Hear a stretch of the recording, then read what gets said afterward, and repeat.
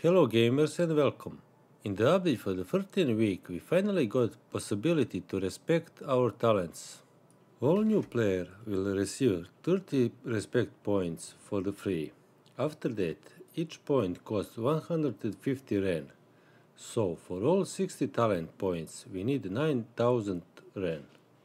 They increased the dropship inventory from 10 to 15 slots to allow more workshop items to take with us on the mission. Now we have enough space to, for all necessary items.